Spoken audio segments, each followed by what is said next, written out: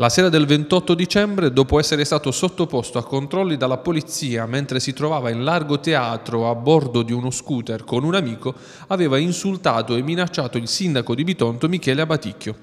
Nelle scorse ore Michele Arcangelo Santa Maria, 29enne bitontino, sorvegliato speciale dallo scorso giugno con obbligo di dimora nella sua città, è stato arrestato per aver ripetutamente violato le prescrizioni a cui era sottoposto.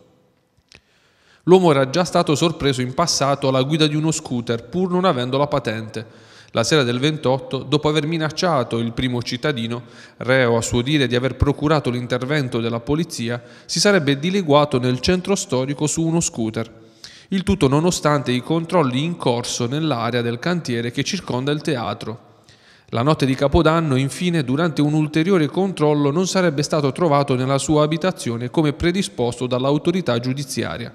Dopo aver accumulato numerose denunce, gli agenti del commissariato di Bitonto, su disposizione della magistratura, lo hanno pertanto posto agli arresti domiciliari.